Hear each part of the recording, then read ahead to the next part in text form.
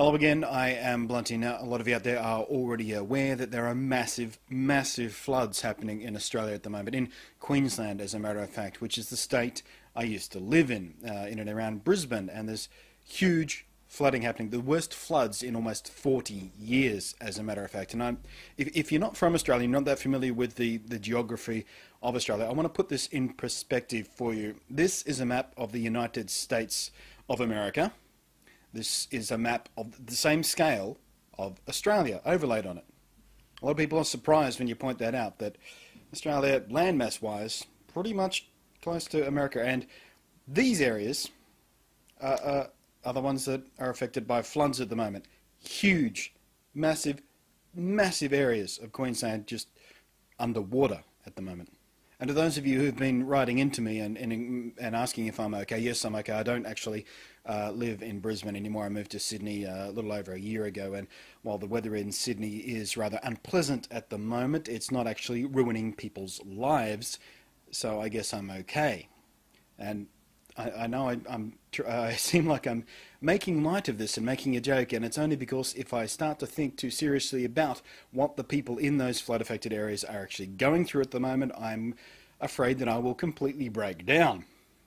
Because while I've never been through a natural disaster personally, um, I, I do know what it is like from personal experience uh, to have most of your life and, and just about everything you own and, and just everything you know and love and can rely on and just destroyed and taken away from you and all that sort of stuff. And it's uh, it's incredibly traumatic.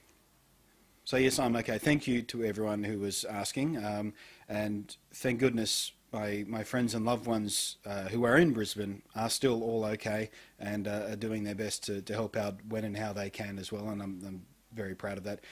I mean, just the the sheer scale of this is is almost incomprehensible. I, I, struggle to wrap my head around it and just how many people are affected. And it's not just people who are directly affected who, who have got, you know, water in their houses or their cars have been flung down the streets by flash floodwaters and things like that. I mean, there are people who, who simply can't get to their jobs or can't get to their family because the, the way there has been completely cut off.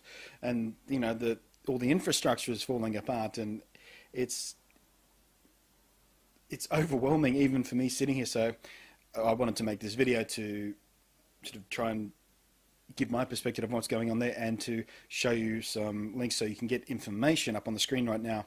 Are a couple of websites the uh, brisbane.qld.gov.au uh, for information. And if you'd like to make a donation and I, I, of course seriously encourage each and every one of you to donate at least something uh, www.qld.gov.au slash floods slash donate.html uh, the links are on the screen, but they're also in the text which accompanies this video, so you can just click on them and go directly there. And if you're on Twitter and you want to see some, some real-time news and information and hopes and prayers and all that sort of stuff coming through on the Twitter feed, the hashtag is uh, is hash QLD floods.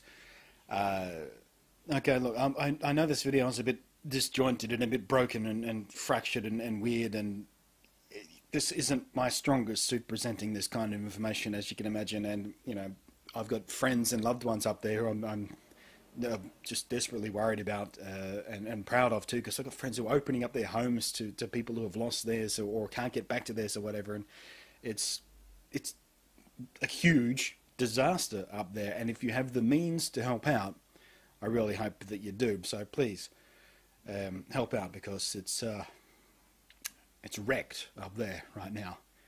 And, you know, there are places I used to go for walks which are several feet underwater right now. And that's